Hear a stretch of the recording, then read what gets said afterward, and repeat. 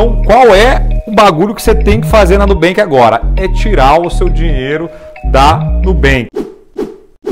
E a Nubank só hoje caiu mais de 5%, tanto aqui no Brasil quanto lá na Nasdaq, é a bolsa de tecnologia dos Estados Unidos, onde a Nubank escolheu listar as suas ações. Mas a grande questão é: e se a Nubank quebrar, Japão? Que, que acontece com o meu dinheiro? Eu tenho recebido muito essa pergunta lá no meu Instagram, que é Denise Miabara. Então, vou contar para vocês como funciona toda a Nubank, se tem algum risco da Nubank quebrar e se ela quebrar, o que, que vai acontecer com o seu dinheiro. Brasil, como falei para vocês, a Nubankzinha já acumula quase 70% de queda desde o seu IPO. E aconteceu o que o Japão temia, Brasil, que era deixar muita gente traumatizada. Então tem muita gente nos vídeos que eu soltei de Nubank extremamente traumatizada, inclusive achando que foi roubada com essa jogada dos pedacinhos. Então, se você do outro lado já está judiado também, e se você gostou dos vídeos que o Japão fez lá atrás sobre isso, já deixa o comentário gostosinho, comenta qualquer coisa, é seu flau, e já deixa o comentário para o YouTube entender que esse vídeo é relevante e que vai te ajudar de alguma forma, tá bom? E deixa o like aqui também, toca a caricatica aqui também e se inscreva no canal do Japão, tá bom? E aí, o que acontece com o Nubank, Brasil? Como falei para vocês, desde o seu IPO, ela derreteu a ação. Isso se dá devido à aversão a risco e o aumento na taxa de juros lá nos Estados Unidos, que já aconteceu aqui, agora está acontecendo nos Estados Unidos. Só quando acontece isso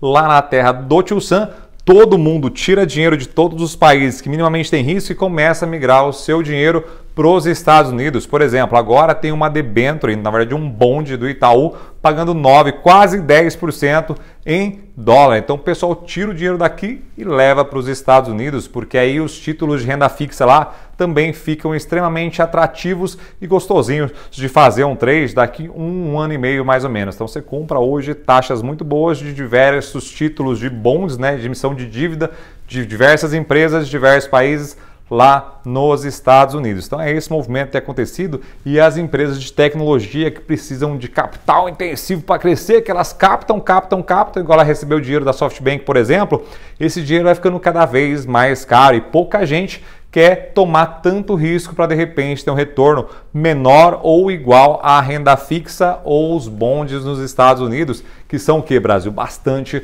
voláteis. E aí pessoal tá com medo, Brasil. O pessoal que investiu no pedacinho ou que investiu no IPO já está preocupado com a empresa Nubank. E aí, basicamente, tem uma coisa a ver com a outra? Tem, na verdade, que é o valor de mercado da Nubank derrete. Então lá atrás a Nubank conseguiu vender muito bem no seu IPO para todo mundo que participou. Tenho, porém, que eu já gravei alguns vídeos falando sobre isso, que 90% dessas ações ainda estão na mão de grandes investidores e a partir do dia 17 de maio, agora, eles podem vender no mercado e a ação pode cair ainda mais. Aí entra o Felipe Miranda da Empíricos, que falou que a Nubank está muito mais próxima de R$ reais do que de R$ reais. E agora a gente está vendo que o maluco estava certo e quem entrou vendido na Nubank, seguindo a recomendação dele, ganhou muito dinheiro. Eram 37%, agora deve estar tá batendo aí quase 50% desde a recomendação de short da ação de Nubank. Mas aí, como falei para vocês, quem não entendia muito bem sobre o mercado financeiro está muito assustado e já está botando a, o quê? A credibilidade da Nubank em jogo. E aí o que acontece, Brasil? A Nubank, para quem não sabe, é uma conta de pagamentos ainda. Então, qual é o bagulho que você tem que fazer na Nubank agora? É tirar o seu dinheiro da Nubank. Mas é todo lugar? Não, Japão. Você vai tirar o dinheiro da sua conta corrente da Nubank e vai alocar em lugares mais seguros como o RDB. Então a Nubank estreou lá atrás um negócio que revolucionou todo o mercado, que é o dinheiro que você deixa parado na conta corrente e ele ia automaticamente rendendo. Não é conta corrente, tá? é conta de pagamentos, porque a conta corrente tem garantia do FGC, as dos bancos tradicionais. Agora da Nubank não tem FGC. Acontece que o Nubank se quebrar e seu dinheiro estiver na conta de pagamentos ou a conta corrente da Nubank você perde todo o seu dinheirinho, independente se você tem mais de 250 ou menos de 250 mil reais. Eu sei que é muito mais cômodo para você, do outro lado, deixar o dinheiro parado nessa conta corrente, mas você não deve de forma alguma, porque de fato ele está desprotegido. Mas eu falei se não bem quebrar, mas está muito longe, porque a parte de oscilação das ações não tem muita correlação com a saúde financeira do ativo, principalmente de empresas de tecnologia como Nubank, como Cash, como outras aí que estão caindo, Magazine Luiza, Via Varejo, estão derretendo na mão do investidor. Então não se preocupe, pelo menos por enquanto, acredito que eu que nunca vão se preocupar com a quebra da Nubank, mas tem que de qualquer forma proteger o seu dinheiro de possíveis quebras, né? Porque a gente nunca sabe o que vai acontecer daqui para frente. Se você perguntasse, talvez, para um ucraniano dois anos atrás, se eles achariam que estariam nessa situação que hoje, muito provável que eles diriam que não. E olha o jeito que está a bagaça toda. Então as coisas podem degringolar do dia para a noite, assim como Luna, por exemplo, que é um altcoin que estava cento e poucos reais e agora está quatro reais, Brasil. Caiu em uma, menos de uma semana assim, ó, flau, ela despencou.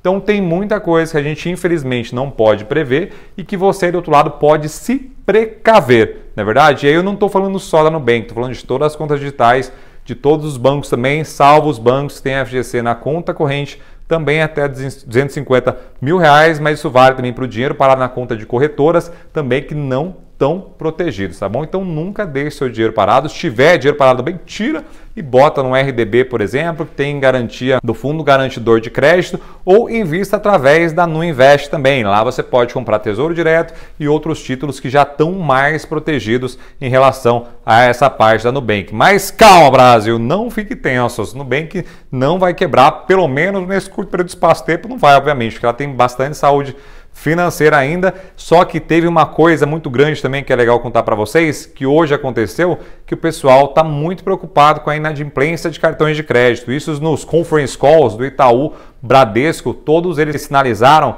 que não vão conceder muito mais crédito, porque está bastante tensa a bagaça nesse trimestre. O pessoal está preocupado que vai ter bastante calote ainda ou inadimplência nesse período. E o Next, junto com a Digi, com uma outra conta do Bradesco que é digital também, eles têm 21 milhões de seres humanos ali na sua base. Então eles têm muita gente tão tirando o pé justamente por conta desse medo. E como o core business da Nubank ainda é o cartão de crédito, o pessoal já está ficando mais tenso ainda. Realizaram mais vendas das ações da Nubank, ocasionando essa queda de 15%, tá bom? Mas em relação à quebra dessas coisas, pode ficar despreocupado, só se preocupa em se precaver e alocar, não deixar o dinheiro parado, mas alocar, obviamente, em lugares são seguros e tenham fundo garantidor de crédito para você aí do outro lado.